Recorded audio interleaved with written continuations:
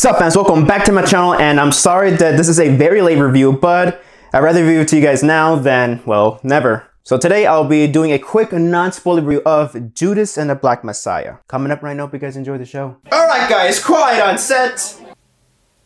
Scene one, take one. Action. Boom!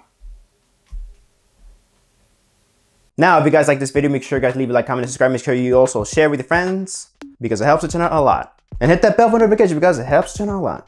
Judas and the Black Messiah is directed by Shaka King or Shaka King. I'm sorry if I butchered your name. And it stars Daniel Kaluuya, Lakeith Stanfield, and Dominique Fishback just to name a few. So the story is about a, is that basically the movie is about a biopic film of Fred Hampton, yeah, Fred Hampton, who was and who was the chairman of the Illinois Black Panther Group in Chicago around the 1960s. So the FBI, since William O'Neal got in trouble, William O'Neal must infiltrate the Chicago Black Panther community just to get close to Hampton.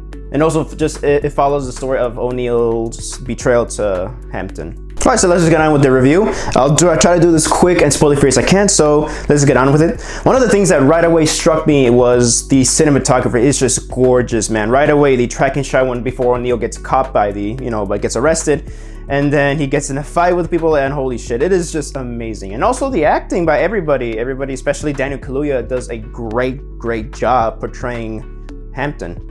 The score is really nice too. It also creates this nice, intense, ten, intense scenes especially since with the combination of acting, cinematography, and the music. One of my favorite scenes is well when Hampton and the Black Panther Party visit the the crowns, I believe what they're, called, and they're trying to set up a truce or a basically a unity or just yeah, a coming of peace.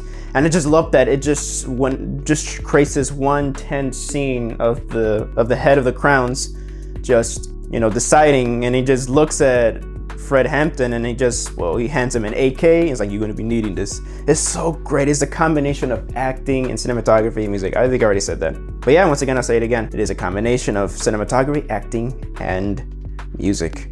It's amazing. I also just love how they just captured my my city for to, to represent back in the day. As a fellow Chicagoan, I just love how they just pretty much shot it so well and yeah, it does. Of course, I'm pretty sure they did shot it on Chicago on location. I mean, correct me if I'm wrong on that, but wow, it's it's beautiful. They captured it right, and it makes you feel like you're in the late '60s in Chicago. And then also, I just love just how the message of of the movie, just but yeah, the Black Panther Party was pretty, you know, violent. But then again, it's, I mean, I I.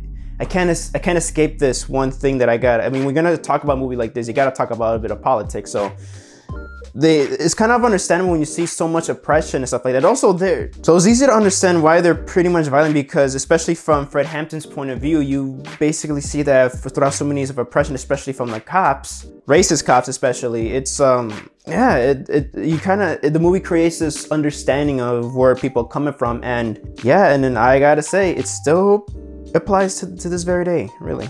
As a mexican american myself i do still face discrimination still even I was, I, I, didn't had a good experience with white cops actually. But also there's one scene in the movie, which I'm not gonna spoil much, but there's a scene in the movie where like even people from the South, like white people from the South and Puerto Ricans and the Black Panther community Black Panther Party, they basically just unite against the racist cops, the oppression and the government, which is really nice. So if I were to talk about this movie a lot, then I had to spoil a lot of things. Well, maybe one day I'll cover this movie again in more in-depth and spoiler heavy and, an essay type of video. So if I were to give this film a rating, I'll give it a perfect 5 out of 5. It is damn amazing. And I'll say once and I'll say it again, it's due to acting, cinematography, and music, and it's all damn amazing. And also the pacing is really good too. This doesn't feel like a two hour movie. So that is my review for Judas and the Black Messiah. I hope you guys enjoyed the video. And thank you guys so much for watching my video. So let me know down in the comments down below. Have you seen Judas and the Black Messiah? Let me know down in the comments down below so I can hear about your opinions on it. So this is Javi from Hobby Productions signing off and hope you guys enjoyed the show.